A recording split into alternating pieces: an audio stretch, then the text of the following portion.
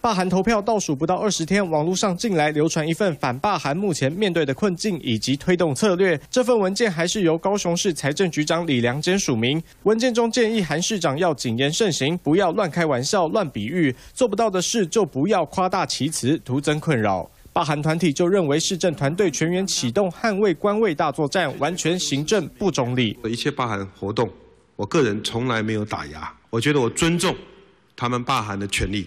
唯一就是我们这市府团队刚上任一个月，他们就开始酝酿罢韩，这一点是很明显违法。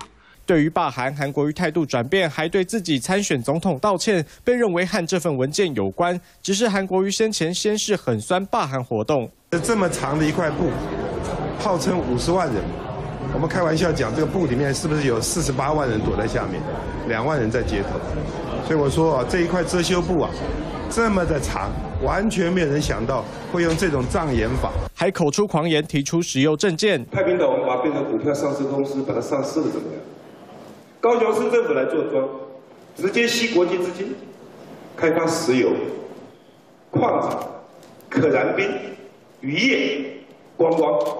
种种言论引起不满，如今面临罢韩局面，市府团队都提建议要帮忙市长面对罢韩。对于文件曝光，李良坚表示，这份内部资料是提供建议和看法，不理解为何会外流。韩国瑜突然道歉，应该是收到各种意见后做出的判断，也尊重市长的决定。